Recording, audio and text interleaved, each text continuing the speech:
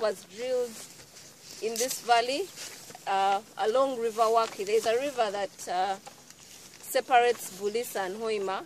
It's called River Waki. It flows into the Rift Valley. And so along that river, the first deep well that encountered some hydrocarbons, but commerciality was not confirmed, was drilled in 1938.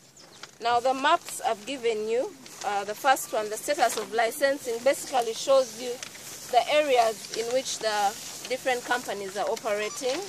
We have uh, Total further up in area 1 and 1A, and then we have Tullow operating in area 2. This is part of area 2, and specifically we are, we are going to be in the Bulisa discovery area, so it's the third box from up.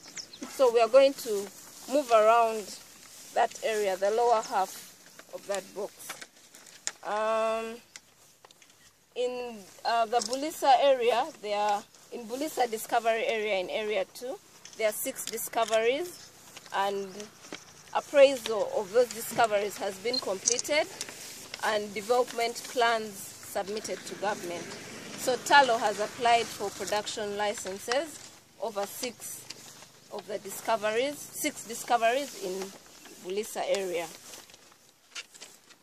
Then uh, moving on to the, uh, the infrastructure map, as, as was explained during the session in Bunga, this map just gives us a detail of the infrastructure plans, how the fields are going to be developed.